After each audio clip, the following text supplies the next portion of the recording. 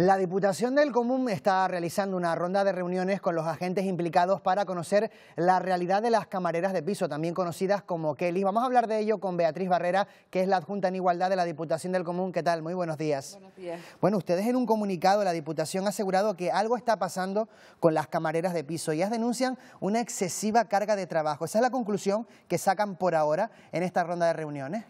Bueno, ellas denuncian una excesiva carga de trabajo, una mejora en las condiciones de trabajo, solicitaban también la jubilación anticipada, algunas reivindicaciones eh, más, pero bueno, en realidad nosotros todavía no, no, debemos tomar ninguna conclusión. Evidentemente estamos empezando la ronda de consulta y nos queda todavía eh, la administración. Sí me gustaría eh, decir que cuando nosotros decimos algo está pasando es que siempre cuando haya una queja, siempre, no siempre, pero normalmente hay cosas que se pueden mejorar. Y ese es nuestro objetivo. La Diputación del, Común se siente satisfecha, yo como adjunta me siento satisfecha porque es nuestro objetivo y nuestra responsabilidad. Es decir, tratar de acercar las partes que están en conflicto para buscar una solución. En estos momentos todavía nos hemos reunido con los operadores económicos, sindicatos y empresarios, que sí me gustaría agradecerles desde aquí su voluntad de acercarse a nuestra mesa, porque no son interlocutores legítimos sobre los que nosotros podemos solicitar una investigación.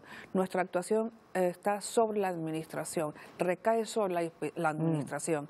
Por lo tanto, que ellos se hayan avenido porque los hemos invitado a sentarse con nosotros para analizar eh, esta cuestión es importantísima, porque es una cuestión que tiene muchas aristas, muchas, eh, muchos lados que analizar. La patronal en esas reuniones, creo que ya se ha reunido con Azotel, ayer mismo fue con la Federación de Hostelería y Turismo de la provincia de Las Palmas. La patronal en esas reuniones ha admitido que hay sobrecarga de trabajo con las camareras de piso.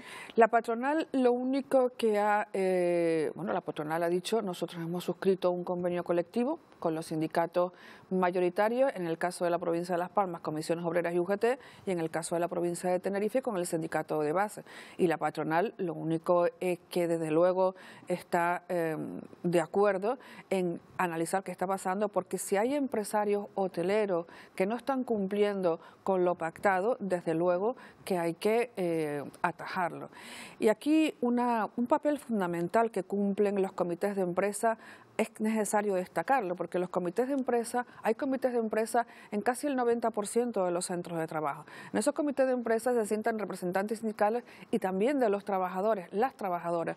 Por lo tanto, es importante que ya en esos comités de empresa estén atentos de en cada centro de trabajo que está pasando, porque no en todos se pueden estar produciendo incumplimientos. En 2018 la Diputación del Común, si no me equivoco, abrió una actuación de oficio y dio traslado de esa investigación a la Dirección General de Trabajo. ¿Se ha hecho algo desde entonces en la Administración Canaria?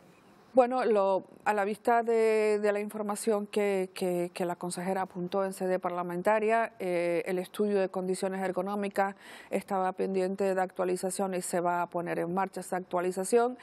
Entendemos que en ese momento se asumió el compromiso de hacer un seguimiento a qué es lo que estaba ocurriendo, pero han pasado cinco años y probablemente, no digo que no se haya hecho, pero probablemente puede ser mejorado. Y es lo que la consejera ha asumido el compromiso en sede parlamentaria, de lo cual yo me alegro, porque al final lo que nosotros queremos es que se arreglen las cosas. El problema de, de, las camareras de piso, señora Barrera, ¿es solo de condiciones laborales, de esa excesiva carga de trabajo también hay un problema de salario? El salario, como dije, está pactado en los convenios colectivos y la forma de pactar el salario es distinta en un convenio que en otro. Yo a veces lo que pienso es que podría si cabe, cuando se renegocien esos convenios colectivos, o a lo mejor ahora, buscar una forma única de que el salario esté unificado. Mm, si es una cuestión de salario o no, ellas dicen que son salarios bajos, puede ser que se tengan que revisar, pero no es nuestro cometido decirlo, sino los interlocutores sociales. Pero más que de salario, eh, yo diría que es también de eh, las condiciones de trabajo, lo que ellos llaman la prevención del riesgo, es decir, las condiciones ergonómicas para que nos entendamos, cómo se está desarrollando ese trabajo y también la medición del tiempo según el establecimiento hotelero, que no es fácil, porque no es lo mismo un hotel que tiene planta seguida a un hotel que está disperso en el territorio como hay muchos resorts de lujo en Canarias. Por lo tanto, yo creo que eso es importante eh, tenerlo en cuenta. Cuando se produce una sobrecarga de trabajo, además, porque hay absentismo laboral justificado, obviamente, porque hay una capacidad laboral transitoria, esas habitaciones que tienen que ser hechas, porque el turismo está esperando para entrar, se reparten entre el personal que, quiera. Y claro, ahí eh, se produce una sobrecarga que es compensada, es atendida, está pagada. Es decir, todas esas cuestiones son cuestiones que también eh, la inspección de trabajo tiene mucho que decir en este asunto, una administración con la que también nos vamos a sentar.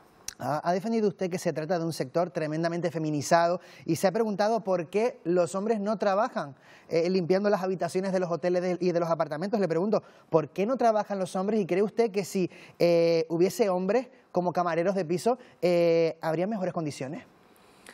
Pues no lo sé, pero voy a contestarte la primera mm. pregunta. Esa pregunta que yo me la hacía, que es de sentido común, también se la pregunté a las patronales y a los sindicatos. En algunas ocasiones me han contestado que es una cuestión cultural, es decir, las camareras de piso hace 30 años o más inicialmente era un colectivo de mujeres que encontraron una salida laboral y profesional para muchas veces ayudar a su familia o incluso escapar de situaciones de violencia de género para tener independencia económica. Así se ha perpetuado en el tiempo, pero nadie impide que los hombres puedan ser camareros de piso y de hecho en algunos establecimientos hoteleros los hay. Muy poco. Muy poco.